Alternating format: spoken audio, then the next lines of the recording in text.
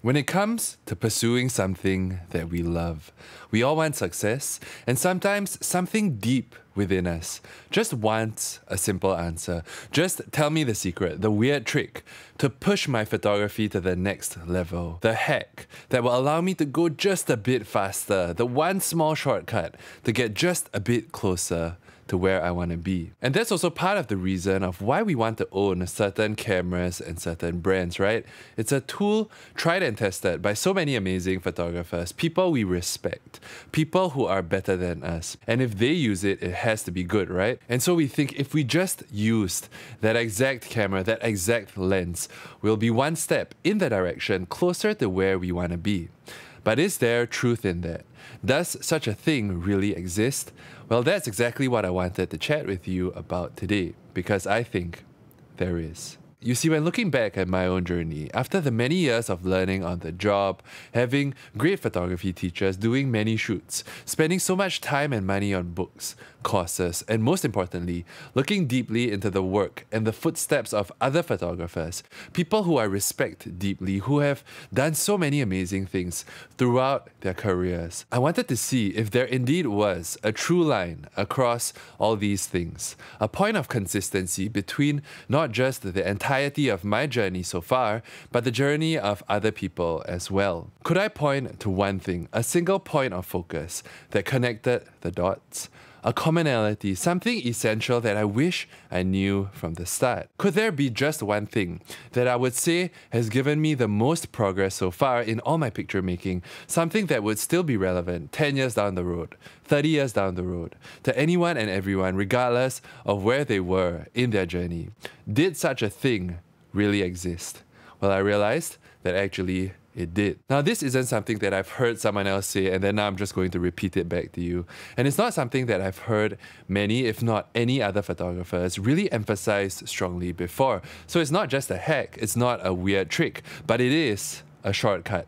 Because I do believe that if you had two photographers, both with 10 years worth of shooting experience, if one person knew this from the start of his journey and the other didn't, the person with it would be leaps and bounds better as a photographer. And for me personally, it's something that has truly and consistently helped me out. Whenever I felt stuck, whenever I felt really down, like all my pictures were just meaningless, the days when I feel like a complete failure as a photographer, the one thing that saved me when I felt like never making another picture ever again. And not only did it get me out of those dark periods when my journey in photography could have just ended, but it also effortlessly took my picture making to greater and greater heights. It allowed me to make pictures that I could have never imagined that I would have been able to make. Now, it might sound like I'm hyping this up to sell you some legendary photography masterclass, but I'm not here for your money. I'm not here to ask you to sign up for some mailing list and I'll send you the ebook.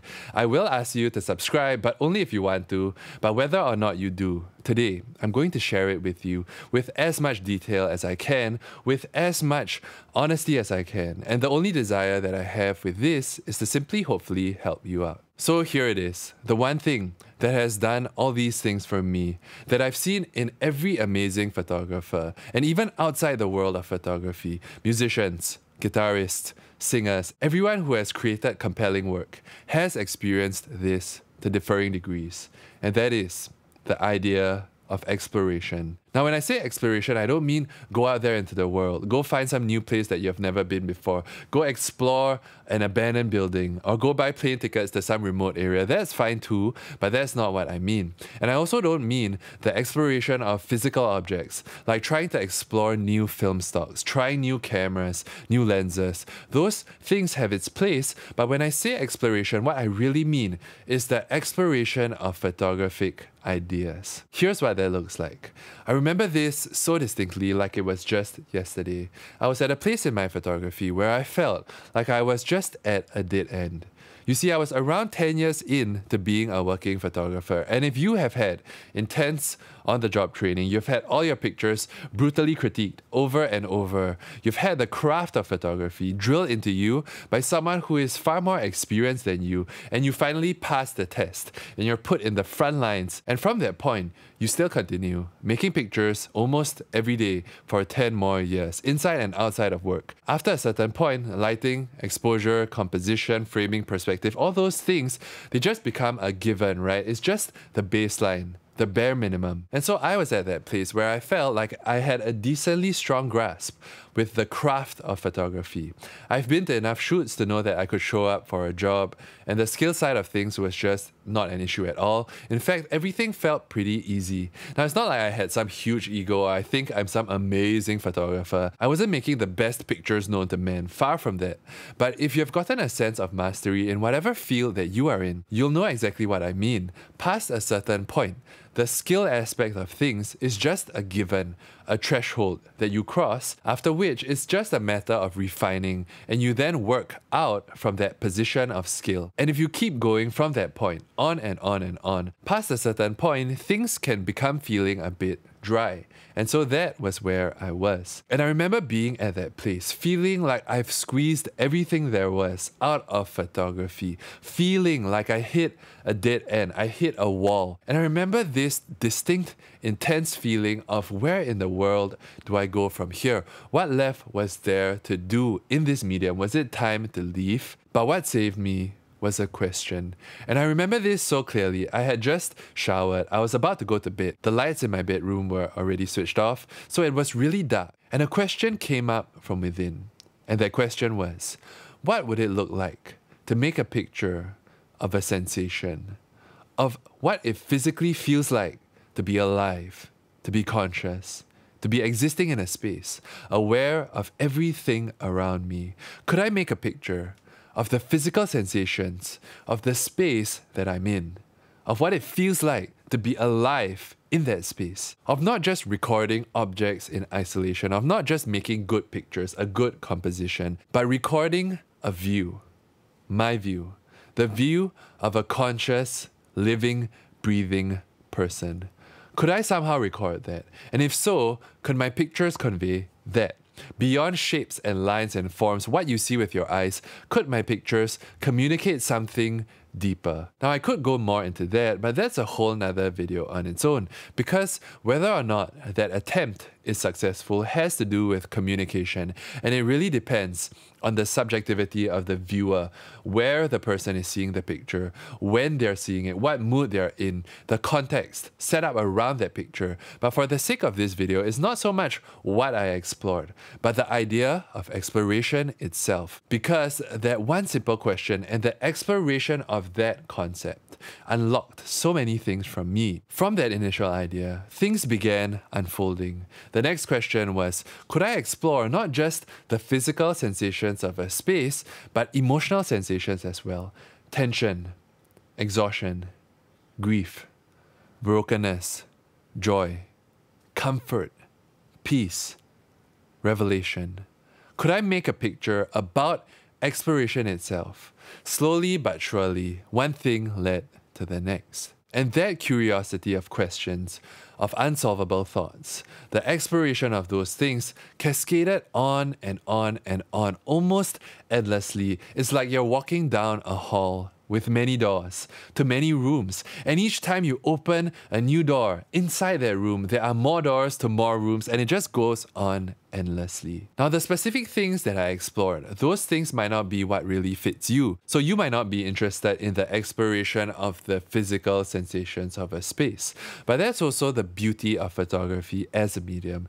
There is so much freedom and an endless sense of possibilities within personal exploration and expression that you can go down whatever path that genuinely excites you. Maybe you're interested in geometry, in lines, how shapes and forms influence the picture plane, and how the organization of those things alters visual expression. Start there. Or maybe you're interested in cars.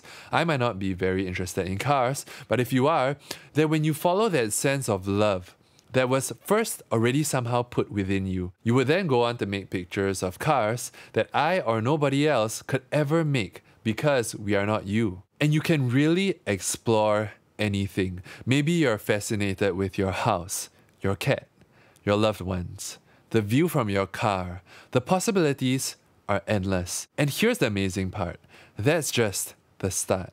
We've been only talking about thoughts from within. From there, you can begin exploring other people's works as well, other people's thoughts, their curiosities, looking at what has come before you, finding out for yourself which photographers, which bodies of work deeply resonate with you. And that's when you realize that the things that you have been exploring that came from within, other people have been exploring those things as well, but them with their own slant and you with yours. Because we bring to this the entirety of our life experiences, our history, our story, our beliefs, our values. And as long as you keep true to those things, they'll inevitably give you your own sense of flavor, your own sense of style. And you'll realize that, hey, other people might be exploring similar things as well, but they have their own sense of distinct flavor, different to my own. And from there, you'll begin exploring not just your curiosities, but other people's as well, incorporating their thoughts, seeing how they line up with your own, building upon certain things, throwing out certain things, selecting things that genuinely fascinate you, adding them to your toolbox, but with your own flair, your own sensibilities. And here's what that looked like for me. Say, for example, with Friedlander, you see things like interposition, how he plays with overlapping forms. You might think to yourself, hey, I've never really experienced that before. Let's explore that in my picture making for a while. Then maybe you come across a beautiful book of pictures made by children, and you go, oh man, there is so much casualness to this, a purity. What about it makes it feel so casual? How do I incorporate that sense of looseness, of freedom, of play into my own picture making. Then, opposite to that, you see Stephen Shore's work, and you go, oh man, I never knew formality in picture making could combine so nicely with almost mundane everyday scenes. If I were to take those concepts and apply that towards subject matter that I really care about, what would it look like? On and on and on. And it's like you're expanding your photographic vocabulary. The more you explore, and you're able to use those new words in your own way. So it's this constant exploration of questions, of fascinations, not imposed on you by other people, but arising from within yourself that effortlessly intrigues you. And from there, not just exploring questions from within, but also exploring questions posed by other photographers as well. Those two aspects of curiosity from within and curiosity from outside, they synergize and they become this beautiful, intertwining, constantly changing melting pot of photographic possibilities. They form the path that keeps unfolding in front of you as you put one foot in front of the other that gives you your unique journey, your distinct voice. And if you're feeling down, at a low point in your photography, which I do a lot of the time, start by asking yourself this what genuinely fascinates you? Beyond just making good pictures, beyond good compositions, beyond chasing nice light, what are you interested in? What intrigues you? What excites you? What are you curious about? What do you really care about? Is there something, some subject matter, a place, an idea, anything at all that pulls you in that direction. Can you remember a situation in the past where just standing there, looking at something, making a picture of it, everything in you just felt effortlessly alive? Start there and keep taking small baby steps from that starting point, opening new doors. You know, sometimes when you open a door in the room, is a dead end. And I've had many of those as well. When you experience that, just pause, retrace your steps, and move forward again. This time in just a slightly different direction. And if you just keep going, one day you'll look back and you'll see the beautiful journey that you have undertaken, and you'll find the pictures that only you were able to make. If you found that helpful, let me know your thoughts in the comment section below. I'd love to have a chat with you there. Subscribe for more videos like this, and I'll see you in the next video.